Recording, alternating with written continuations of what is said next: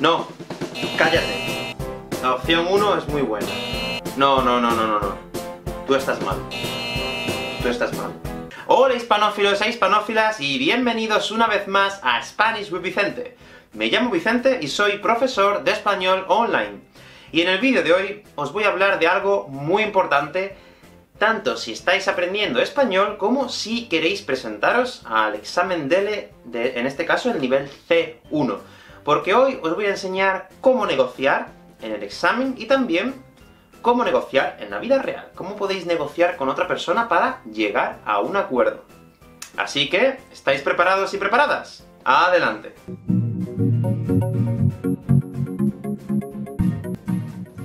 Bueno, hispanófilos e hispanófilas, recordad que hoy vamos a practicar las negociaciones. Quiere decir que vamos a practicar la tarea 3 del examen DLC1 en la parte de expresión e interacción oral. Os voy a enseñar en qué consiste esta tarea, eh, qué tenéis que hacer, cómo tenéis que hacerlo también para obtener la, la máxima puntuación, siempre, y os voy a dar, como siempre, algunos consejos que os pueden servir. ¿Qué pasa si no estás estudiando el examen del EC1? Pues no pasa nada, porque estas pequeñas estrategias que os voy a dar os pueden servir para vuestro día a día, o en la vida real en general. Bueno, vamos a empezar y os voy a explicar en qué consiste la tarea número 3 de la expresión e interacción oral. Pues bueno, como sabéis, la tarea número 3 consiste en una negociación espontánea, pero formal, ¿vale? Es una conversación, eh, una negociación, perdón, formal. ¿Qué quiere decir esto? Pues que podéis interrumpir al entrevistador, podéis rebatir sus opiniones, podéis exponer vuestro punto de vista, de vista, de vista, vuestro punto de vista, etcétera, etcétera, etcétera. ¿Y qué tenemos que hacer? Bueno, pues os voy a explicar. Esta tarea es la tarea que no podéis preparar para el examen. Sabéis que la tarea 1 y la 2, bueno, en general la tarea 1, os la voy a dejar justo por aquí, ¿vale? Para que podáis ir a ver la tarea 1 y la tarea 2, que hice también un vídeo de la expresión oral. Sí que tenéis, disponéis de 20 minutos para prepararla, pero esta tarea es completamente improvisada. Entonces, el examinador os va a mostrar dos láminas, ¿vale? Normalmente dos temas. Y tenéis que elegir uno de los dos. Mi recomendación es siempre que elijáis el tema que más, eh, con el que, perdón, con el que más cómodos o cómodas os sintáis siempre. En segundo lugar, el entrevistador os va a leer las instrucciones. Eh, es muy importante, atención, es muy importante escuchar el contexto. Y después, atención con esto, mucha atención, nos dan dos o tres aspectos, generalmente, a los que la negociación se tiene que adecuar. ¿Qué significa esto? Significa que esos dos o tres aspectos, digo dos o tres porque he visto en algunos exámenes que eran dos, y en otros exámenes que he visto que eran tres, entonces suele, suele variar. Esos aspectos los tenéis que tener muy en cuenta en la conversación, en la negociación. Los tenéis que tener muy en cuenta cuando estéis negociando. Yo os voy a poner un ejemplo que utilizo mucho con mis estudiantes, y es este que voy a poner por aquí, Vale, pues en primer lugar, estas son las instrucciones de la tarea 3 de la prueba de expresión oral, la negociación. Usted y su amigo están de vacaciones en Madrid y quieren hacer algo, un plan, el sábado por la tarde. Para elegir el plan, para el sábado, tienen que tener en cuenta los siguientes aspectos. Tiene que ser un plan que solo puedan hacer estando en Madrid, tiene que ser un plan activo, tiene que ser, y por último, tiene que ser un plan innovador o diferente a lo que hacen siempre. Ahora, mire las cuatro fotografías y teniendo en cuenta los aspectos citados arriba, esto es muy importante, ¿cuál cree que sería la opción más adecuada? Ahora os van a recordar que es una tarea, es una negociación, una conversación abierta, por lo tanto podéis interrumpir al entrevistador, podéis dar vuestra opinión, pedir la opinión al entrevistador, rebatir las ideas del entrevistador, etcétera, etcétera. Y por último os, preguntarán cuál de las cuatro opciones os parece la más adecuada. Vamos a ver las opciones. En primer lugar, eh, tenemos la opción de visitar el Museo del Prado. En segundo lugar, tenemos la opción de un tour en bicicleta por Madrid. La opción número 3 es ir de compras. Y por último, la opción número 4 es ver un partido de fútbol. Y os recuerdo que son importantes los, ah, en este caso, los tres aspectos, condiciones que hemos visto anteriormente, tenedlos en cuenta, en el examen podréis ver estas cuatro imágenes que estáis viendo ahora mismo, y también podréis ver los aspectos. Y por último os harán la pregunta de cuál creéis que es la mejor opción, y dará lugar a la tarea número 3. En este caso, empieza la tarea. Entonces, la negociación se debe adaptar, se debe ajustar a, estas, a estos dos aspectos y dos condiciones. Bueno, antes de empezar con los consejos de la expresión oral, os quiero dar unos conceptos básicos, unos términos, que estaría bien conocer si vais a hacer una negociación o si vais a hacer la tarea 3 del examen del F1 de expresión oral. El primero de ellos es ajustarse a algo. Vale, ajustarse a algo es cuando algo se adecua a otra cosa. Por ejemplo, la opción 1 no se ajusta a lo que hemos mencionado eh, sobre ser unas vacaciones activas que mantengan a nuestros padres eh, activos. No se ajusta a. Cuando algo no se ajusta a algo, significa que no está relacionado como se pide. Por ejemplo, hmm, yo creo que tu opción, la opción que tú has elegido, no se ajusta correctamente a lo que nos piden en las instrucciones. Es una buena forma, es una palabra que seguramente la tendréis que utilizar, como queráis, y que os puede venir estupendamente. La segunda palabra es ceder. Cuando cedemos, básicamente, mmm, nos estamos rindiendo ante la opinión de otra persona. Por ejemplo, imaginad que lleváis ya cuatro... No, cuatro no, porque la tarea dura entre 4 y 6 minutos. Imaginad que lleváis ya 6 minutos o 5 minutos conversando, y vuestro entrevistador tiene las ideas muy fijas. Es de ideas fijas, entonces no cambia de idea. Entonces vosotros podéis decir, bueno, voy a tener que ceder, voy a tener que rendirme ante tu opinión, voy a ceder. Es una palabra que es interesante que la conozcáis si vais a hacer esta tarea. Bueno, la siguiente es una que seguro, seguro, seguro que tenéis que saber, 100%, y es llevar la razón. Pues sí, tenéis que conocer llevar la razón, porque si vais a hacer un examen C1 y no sabéis lo que es llevar la razón, se puede decir tener razón. Oh, tienes razón, pero es un poco más formal decir, oh, llevas razón. Por favor, recordar esto para el examen. Y también podéis decir estar en lo cierto. Oh, pienso que estás en lo cierto. Llevas razón. Es lo mismo. son formas diferentes de expresar lo mismo. Pero si ya habéis dicho, llevas razón, la siguiente vez que utilices esto, puedes decir, estás en lo cierto. De esa manera vais a cambiar un poco vuestro vocabulario y vais a ganar alcance, y podéis conseguir algunos puntos extra, quizás. Bueno, ahora que hemos visto estos términos muy básicos para, hacer la prueba C1, yo voy a empezar con mis recomendaciones, que estoy seguro que las podéis utilizar, además, literalmente, casi.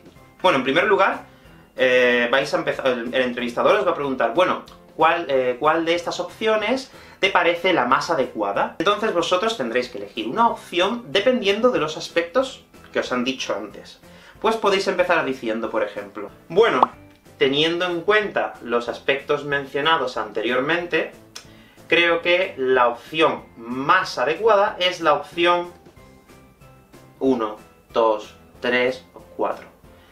Porque bla bla bla, bla bla bla, bla bla bla, bla bla bla, y ya dais vuestro punto de vista. Esto es una muy buena forma de empezar vuestra negociación, porque estáis empezando correctamente, y además esta frase la podéis copiar y llevar la puntada al examen en vuestra cabeza, y hacéis un comienzo estupendo. Y una vez habéis dado vuestra opinión, el entrevistador empezará a dar la suya.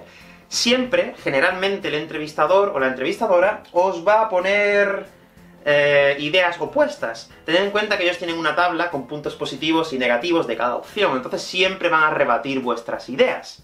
Entonces, yo os recomiendo personalmente que escuchéis muy bien lo que están diciendo escuchéis muy bien lo que están diciendo, y cuando terminen, y vayáis a contestar, intentad mencionar algo que han dicho. Os voy a poner un ejemplo. O, creo que lo que usted, o tú, ha mencionado sobre bla bla bla, bla bla bla, bla bla bla, no es del todo acertado, o no se ajusta del todo a los aspectos que se, han mencionado. Por lo tanto, yo pienso que, eso que ha dicho no es del todo correcto. Podríamos mirar la opción número 2, y proponéis otra opción diferente, porque esta opción también tiene bla bla bla bla bla bla. Entonces, estáis mencionando lo que el entrevistador ha dicho, y al mismo tiempo estáis ofreciendo una opción diferente. Está muy bien, porque estáis analizando lo que ellos os han dicho, y exponiendo otro punto de vista. ¡Estupendo! Y sigue la negociación, y sigue, y sigue, y llega un momento en el que tú tienes muchas ideas en la cabeza, pero el entrevistador no se calla. No se calla, y tenemos que interrumpir. Es la hora de interrumpir al entrevistador o a la entrevistadora. Pero claro, no podemos interrumpir. ¡Cállate! si queréis aprobarlo, ¿vale? no podéis hacer eso. ¿Cómo interrumpimos? Pues de la, de la manera más formal y educada posible. O, disculpe que le interrumpa, si estamos hablando de usted. O, disculpa que te interrumpa, si estamos hablando de tú. O, disculpe que le interrumpa, pero creo que lo que, lo que está diciendo usted, tú, depende, sobre bla bla bla, bla bla bla, bla bla bla, no es del todo acertado. Yo lo que quiero decir es que bla bla bla, bla bla bla, bla bla bla, y exponéis vuestras ideas. Vale, entonces, mis consejos más importantes para esta prueba es que, por supuesto, siempre seáis educados, ¿vale? Hagáis ese buen comienzo. Bueno, teniendo en cuenta los aspectos mencionados anteriormente, yo pienso que la, la opción más adecuada es la opción un inicio perfecto. Después continuamos interactuando con el entrevistador o la entrevistadora. Es una buena opción que escuchéis lo que dicen y contestéis. Y si en algún caso veis que vosotros estáis hablando mucho, más de la cuenta, todo el rato hablando, podéis parar y preguntar al entrevistador o la entrevistadora cuál es su punto de vista, o cuál es tu punto de vista. Eso estaría genial. ¿Por qué? Porque estáis cediendo, recordad la palabra que os he dicho antes, estáis cediendo el turno de palabra para que la otra persona siga con la negociación. Y esto es muy bueno. Por favor, intentad utilizarlo, intentad pedir la opinión de la otra persona. ¿Cuál es tu opinión? ¿Cuál es su opinión? ¿Qué piensas tú al respecto?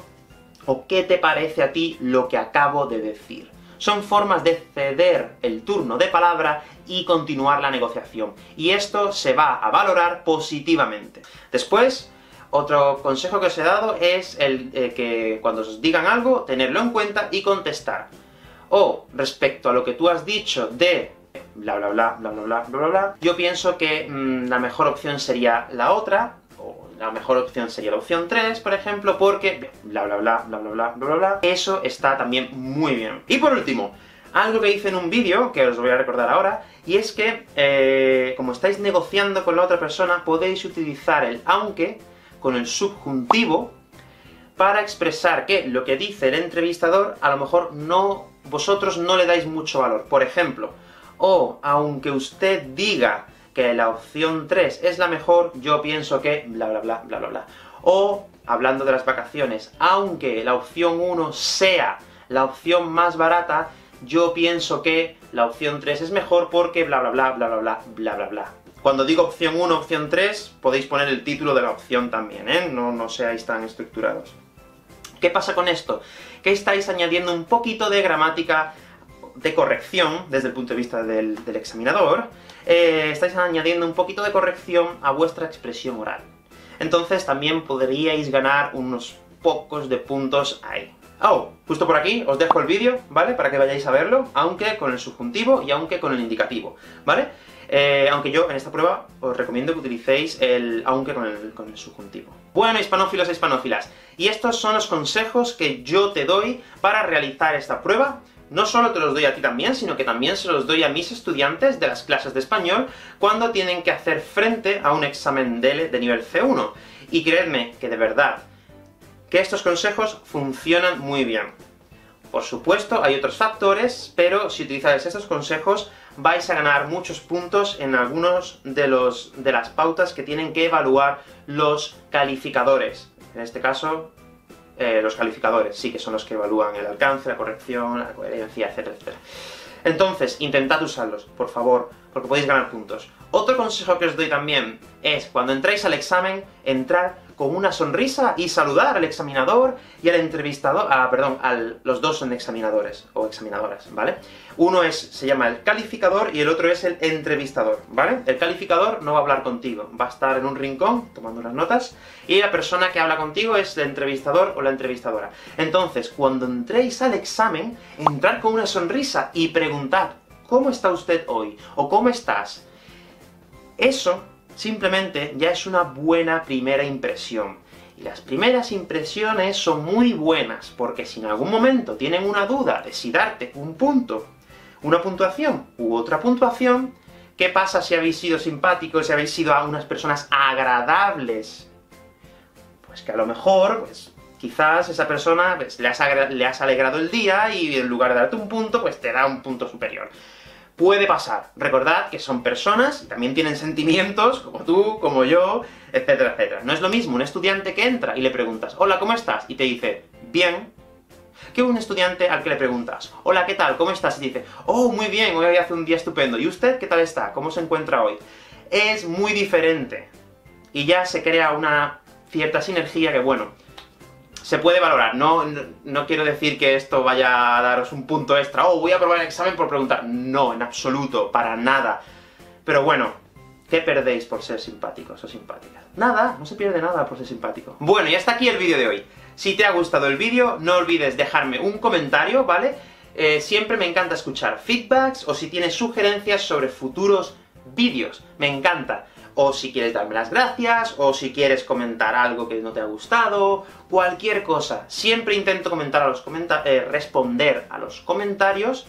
Eh, y bueno, eso es todo. No olvides darle a me gusta al vídeo y suscribirte al canal. ¡Hasta luego!